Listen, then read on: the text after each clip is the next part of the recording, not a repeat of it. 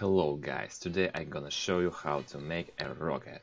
I was asked many times about this, and I even made a quick search around YouTube to find some good tutorials. All easiest and most popular tutorials are dealing with firework type rocket engine. Usually this is a PVC tube filled with a rocket fuel with two end caps. End caps are made of bentonite clay, one of them drilled to make a nozzle and inner channel. In my rockets I use similar methods but different construction. Here is a picture. In this type of rocket engine, rocket fuel itself serves as an end cap, and surprise, rocket fuel itself can serve as a nozzle, such construction called nozzleless rocket engine. It is not as famous as previous one. In nozzleless rocket engine, fuel burn not so efficiently, but it is compensated by high amount of it. This engine can contain up to 80% of fuel. It is interesting that nozzleless rocket engines are much easier to build in big size, and goal of my experiments was not just to build a rocket, anyone can build a rocket according to these tutorials, but to build small nozzleless rocket, to make nozzleless rocket engine as small as I can. So here is all equipment necessary to build small nozzleless rocket engine. A piece of PVC tube 10 cm long, little wood stick, a hammer, and of course rocket fuel. Simple mix of potassium nitrate and sugar can be used as rocket fuel, but prefer preferable to use something with higher burn rate to make faster burning mixture that is much more suitable for nozzleless rocket engines. You can dissolve these ingredients in water and cook them with adding a catalyst, red or yellow iron oxide. See my video about how to make rocket candy. Link will be in the description below. Now watch carefully, on the left simple mix of potassium nitrate and sugar and on the right exactly the same mixture prepared by cooking method.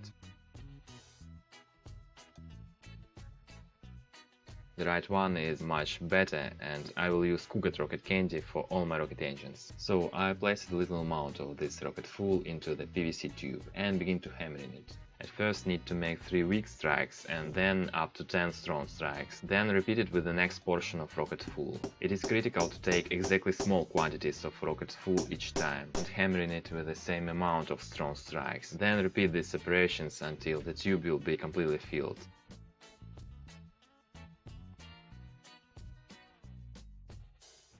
Then need to make a channel in the rocket engine simply by drilling it on a little bit more than one half. I drilled very carefully trying to not damage the engine and need to make the channel as close to the axis as possible. Okay, now the engine is ready and need to think about ignition. The point of ignition must be in the very end of the channel. If you ignite it somewhere else, it will just burn like a smoke bomb, but not as a rocket. To ignite it in the end of the channel, preferably to use electric ignition. Another option is to take visco fuse or black match fuse and wrap it in this way by masking tape to prevent early ignition. This method is not 100% reliable, but it worked pretty good for me.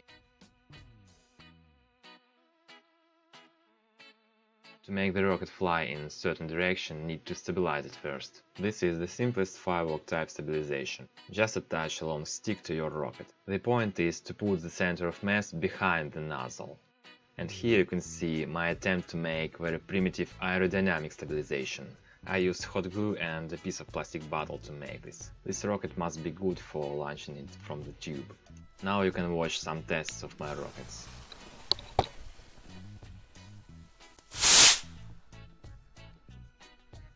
Nozzleless rocket engine worked very good. I found this rocket in 20 meters in the bush.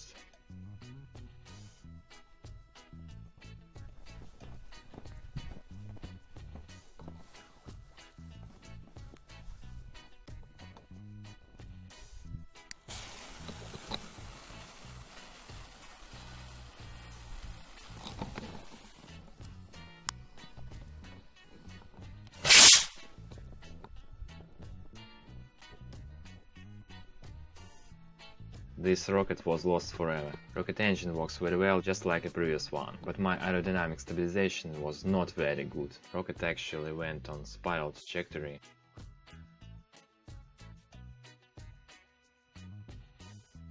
And in this rocket stabilization failed completely. It falls after 30 meters. But rocket engine again worked good. Okay, small nozzleless rocket engine works, and it is very easy to make. That's all for now guys, please subscribe, rate and comment.